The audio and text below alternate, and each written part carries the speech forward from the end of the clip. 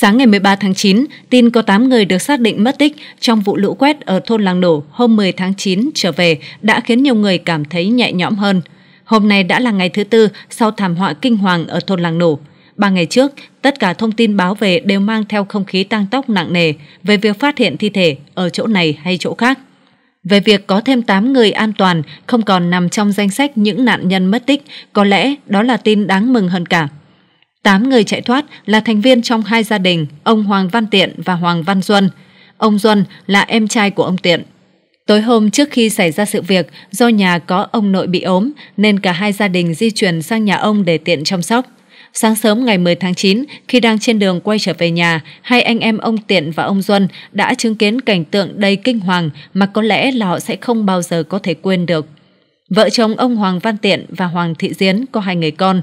Ông Tiện kể, sáng ngày 10 tháng 9, sau khi thức dậy, khoảng 5 giờ 30 phút, cả nhà ông đi thăm suối vì hôm trước thấy nước lên cao và nghe tiếng lục cục của đất đá và nước. Ông đi trước, vợ con đi theo sau. Khi xem xong ra về thì nghe tiếng nổ bùm bùm ở trên đồi, vạt nước ào xuống rồi bật lên cao khoảng 200 mét, tạo ra một vùng đỏ lừ bởi bùn đất. Lúc đó ông thất thanh hô hoán, cả làng ơi, sập rồi, chết hết rồi. Ông tiện ngậm ngùi, từ lúc nghe tiếng nổ đến lúc cả thôn bị san phẳng chỉ khoảng có 3 phút. Nhà tôi chạy ngược ra ngoài nên thoát nạn, nhưng chỉ vài phút sau ngoái lại thấy ngôi làng không còn gì nữa, sập hết, mất hết. Em trai ông Tiện là ông Hoàng Văn Xuân 39 tuổi, cũng cùng vợ và hai con sang nhà ông nội ngủ và nhờ vậy họ cũng thoát chết. Ông Duân kể sáng hôm xảy ra vụ lũ quét đã cùng gia đình anh trai đi xem nước. Xem xong, Gia đình ông cùng với nhà anh trai trở về trên chiếc cầu gần thôn làng nổ thì nghe tiếng nổ rất lớn, kèm bùn đất bắn lên tung tóe. Dù cố gắng hét lớn với mong muốn báo hiệu cho mọi người trong thôn, nhưng do khoảnh khắc ấy diễn ra quá nhanh, ông Duân nói là cả thôn bị vùi lấp chỉ trong vài phút. Hai anh em ông sau đó vội vã cùng mọi người chạy đi tìm kiếm và cứu những người bị nạn. Trong quá trình ấy, người nhà ông phát hiện ra một cháu bé chơi với giữa dòng nước nên đã lao ra giải cứu rồi tìm bố mẹ cho cháu, nhưng chỉ tìm thấy thi thể của bố cháu. Còn cháu bé bị thương và gãy chân nên được người dân đưa vào trạm y tế để cấp cứu. Khi được hỏi lúc ấy có thông báo cho mọi người về vụ việc hay không, hai anh em ông Tiện và ông Duân cho biết khi họ đi không kịp mang theo gì, tất cả đồ đạc điện thoại đều bị lũ cuốn trôi hết. Trong suốt những ngày qua, bản thân ông Tiện tích cực tham gia tìm kiếm những nạn nhân mất tích trong vụ lũ quét, nhưng ông không ngờ chính mình và người thân trong gia đình cũng nằm trong danh sách những người mất tích ấy. Vụ lũ quét kinh hoàng xảy ra vào khoảng 6 giờ sáng ngày 10 tháng 9 khi nước lũ kèm với đất đá từ núi Con Voi bất ngờ đổ ập xuống, san phẳng 37 nóc nhà của người dân thôn Làng Nổ. Theo thống kê, 37 hộ này gồm 158 nhân khẩu, trong đó có 18 trẻ em dưới 6 tuổi, 14 người dưới 14 tuổi, 3 người trên 70 tuổi, còn lại là từ 15 tới 69 tuổi. Khu vực bị lũ quét nằm cách xa trung tâm huyện Bảo Yên 40 km và cách thành phố Lào Cai 120 km. Thời điểm đó, giao thông bị chia cắt, sóng viễn thông không có, nên mọi liên lạc với bên ngoài đều bị cắt đứt. Vì thế, đầu giờ chiều cùng ngày, lực lượng cứu hộ mới tiếp cận được hiện trường. Đến nay, nhà chức trách xác định có 48 thi thể được tìm thấy sau vụ lũ quét, 39 người mất tích, 17 người bị thương và 8 người may mắn thoát nạn. 650 cán bộ chiến sĩ cùng người dân vẫn đang tiếp tục tìm kiếm các nạn nhân mất tích. Sáng ngày 13 tháng 9, ông Bùi Minh Tuân, trưởng phòng giáo dục và đào tạo huyện Bảo Yên, tỉnh Lào Cai cho biết, sau bão lũ, ngoài số trẻ tử vong, hiện còn có 8 cháu bị thương điều trị ở bệnh viện. Theo ông Tuân, sau khi bị lũ càn quét về làng nổ, xã Phúc Khánh, huyện Bảo Yên, công tác tìm kiếm cứu hộ cứu nạn đang được lực lượng chức năng triển khai tích cực. Tính đến 9 giờ sáng nay, đơn vị đã liên lạc và có thông tin của 68 trường trực thuộc. Bão lũ đi qua, trường lớp bị hư hại nhiều, nhưng thiệt hại lớn và đau thương nhất là các trường mất nhiều học sinh. Cụ thể, đã có tới 10 trẻ mầm non tử vong, trong đó có 7 cháu học trường mầm non số 1 Phúc Khánh, 3 trẻ ở độ tuổi chưa ra lớp. Trường tiểu học và trung học cơ sở số 1 Phúc Khánh có 13 học sinh tử vong, 9 học sinh mất tích. Đến chiều ngày 12 tháng 9, tại xã Xuân Hòa, tiếp tục có thêm một trẻ 4 tuổi tử vong. Trường mầm non số 2 có sạt lở đất. Trường phòng giáo dục và đào tạo huyện Bảo Yên chia sẻ, đây là mất mát quá lớn. Phòng giáo dục và đào tạo đã đến các trường động viên thầy cô sớm ổn định tinh thần để dọn dẹp trường, sớm chuẩn bị đón học sinh đi học trở lại, đồng thời chỉ đạo các nhà trường thăm hỏi các gia đình nạn nhân học sinh. Hiện đang có 8 em là học sinh trường mầm non số 1 Phúc Khánh và tiểu học và trung học cơ sở số 1 Phúc Khánh bị thương. Trong đó 6 em bị thương nhẹ đang được điều trị ở bệnh viện huyện Bảo Yên và hai em nặng hơn được chuyển lên bệnh viện đa khoa tỉnh Lào Cai để bác sĩ điều trị. Ngoài ra qua giả soát bước đầu, toàn huyện Bảo Yên còn có 410 hộ gia đình cán bộ giáo viên toàn huyện bị ảnh hưởng ngập nhà sâu, mất đồ dùng và thiết bị gia đình, vân vân. Về cơ sở vật chất, trường lớp cũng bị ảnh hưởng nặng nề, riêng trường bán chú Xuân Hòa bị sụt lún kè khu bán chú gây mất an toàn nghiêm trọng đến khu ở của học sinh bán chú, mái bếp bán chú.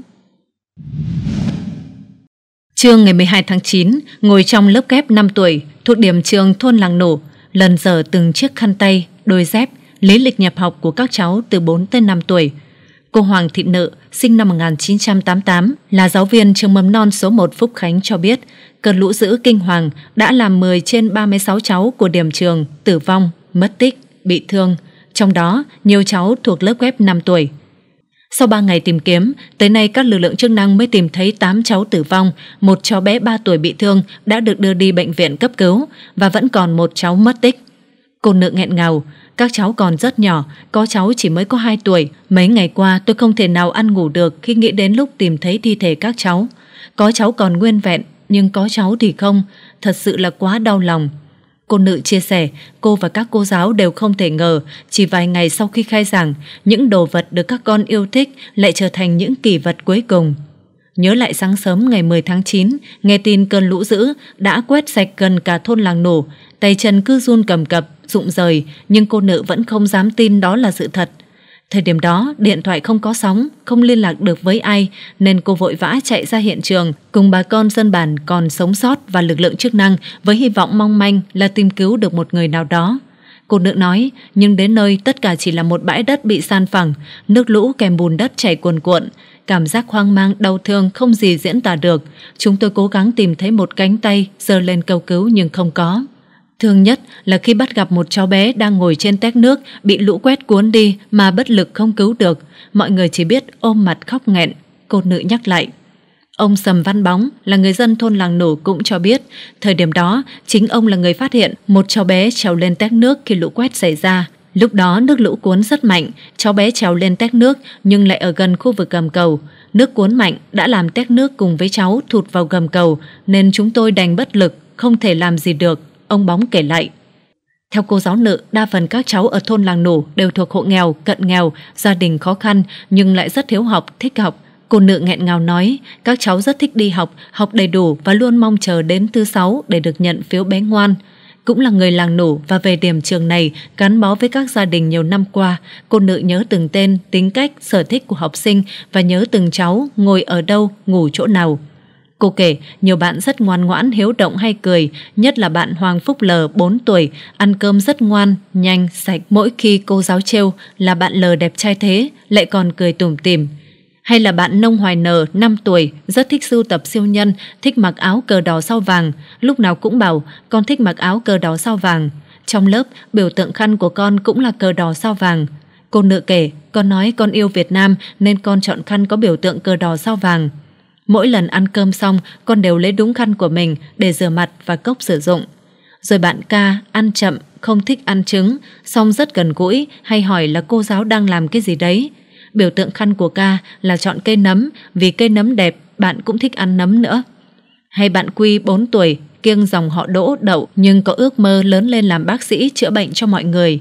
Cô nữ nói trong nước mắt, Biểu tượng khăn của con là xe đạp và con mong là muốn sau này lên lớp 1 được mẹ cho mua xe đạp để hai anh em đèo nhau đi học. Nhưng giờ cả mẹ, Quy và anh trai đã bị nước lũ cuốn trôi tử vong, chỉ còn lại chiếc khăn, bộ hồ sơ, gối, thìa, bát, cốc ở lớp mầm non. Sang quá trưa ngày 12 tháng 9, hàng trăm cán bộ chiến sĩ sư đoàn 316 quân khu 2 Bộ Quốc phòng cùng lực lượng công an và dân quân tiếp tục ra khu vực hiện trường vụ lũ quét sạt lở kinh hoàng ở thôn Làng Nổ, xã Phúc Khánh, huyện Bảo Yên, tỉnh Lào Cai để tìm kiếm những người mất tích. Đến chiều nay, trời đã hừng nắng, nước trên con suối chảy qua thôn Làng Nổ đã rút sâu. Dưới đống đổ nát, lực lượng chức năng khẩn trương lội dưới bùn sâu, sục tìm từng gốc cây ngọn cỏ để tìm kiếm nạn nhân. Trên bờ, rất nhiều người thân làng xóm của những người mất tích đứng ngóng chờ. Tiếng khóc than vang vọng khắp núi rừng khiến ai chứng kiến cũng không cầm được nước mắt. Thất thểu chạy ra từ thị trấn Phố Đàng, trung tâm huyện Bảo Yên tới làng nổ, bà Nguyễn Thị Mẫn bật khóc khi nhìn thấy ngôi nhà của đứa cháu ruột là Hoàng Văn Sứ đã bị sàn phẳng. Bà cũng không biết ai còn ai mất. Bà Mẫn nghẹn ngào, ngoài thị trấn nhà tôi cũng bị ngập lụt, hay tin làng nổ gặp nạn mà không thể vào được. Nay tôi mới vào tới nơi thì tất cả đã không còn gì. Nhà thằng cháu tôi có tận 5 người, giờ không rõ là ai còn ai mất. Gia đình ông Sầm Văn Bóng có 7 người, sau trận sạt lở đất kinh hoàng hôm 10 tháng 9, gia đình ông chỉ còn có hai người còn sống. Ông nói nhiều người chết và mất tích quá, gia đình ông cũng như là anh em họ hàng có rất nhiều người bị lũ cuốn. Gia đình tôi chết 5 người, còn anh em họ hàng chết nhiều, nhưng giờ cũng không biết cụ thể con số. Đau thương lắm. Ông bóng mắt đỏ hoe, hướng mắt nhìn ra làng nổ, giờ chỉ còn là đống đổ nát. Đến 15 giờ chiều ngày 12 tháng 9, lực lượng chức năng đã tìm thấy thêm được 8 thi thể, nâng tổng số nạn nhân chết trong trận lũ quét kinh hoàng lên 44 người, số người mất tích hiện còn 51 người. Suốt quá trình tìm kiếm, mỗi khi lực lượng chức năng tìm kiếm thêm được một thi thể, những cỗ quan tài chất đống trước nhà văn hóa thôn làng nủ lại vơi đi. Điều đó đồng nghĩa cơ hội sống sót của những người mất tích càng nhỏ lại. Ông Hoàng Văn Diệp là trưởng thôn làng nổ không tin có ngày người dân trong thôn bản lại gặp một tai họa lớn đến như thế. Trong tâm trí, ông không ngờ núi con voi bao đời che chở bảo vệ cho bao thế hệ người dân làng nổ và cũng là nơi cung cấp nguồn nước làm nên cánh đồng lúa chủ phú bên dưới, nay lại nổi cơn thịnh nộ khiến cả thôn chìm trong tang tóc đau thương. Trực tiếp tham gia chỉ huy công tác tìm kiếm tại hiện trường, ông Trịnh Xuân Trường, Chủ tịch Ủy ban Nhân dân tỉnh Lào Cai, không thể tin một ngôi làng vốn rất bình yên lại có thể xảy ra một thảm họa kinh hoàng đến như thế. Cũng trong sáng ngày 12 tháng 9, ông Trần Cẩm Tú, Ủy viên Bộ Chính trị, Bí thư Trung ương Đảng, chủ nhiệm Ủy ban Kiểm tra Trung ương đã có mặt tại hiện trường, trực tiếp thị sát khu vực xảy ra lũ quét sạt lở đất để thăm hỏi động viên nhân dân, các lực lượng đang làm nhiệm vụ và chỉ đạo việc tìm kiếm cứu nạn Ông Trần Cầm Tú ghi nhận biểu dương sự nỗ lực và sự vào cuộc khẩn trương của các lực lượng trong việc tìm kiếm cứu nạn nhân vụ lũ quét ở thôn Làng Nổ, chia sẻ với bà con và địa phương về các thiệt hại mất mát rất lớn đang diễn ra. Đồng thời, ông đề nghị chính quyền, các tổ chức chính trị xã hội tập trung cao độ khắc phục hậu quả vụ lũ quét, chăm sóc cứu chữa những người bị thương, chuẩn bị nhu yếu phẩm cho người dân với tinh thần không ai bị đói ăn thiếu mặc. Đặc biệt, ông Trần Cầm Tú lưu ý chính quyền địa phương cần tổ chức thăm hỏi động viên, thực hiện tốt chính sách với những người có thân nhân gặp nạn trong vụ lũ quét sạt lở đất, huy động mọi lực lượng hỗ trợ dân dựng lại nhà ở, dọn dẹp vệ sinh môi trường sau lũ quét để người dân sớm ổn định cuộc sống.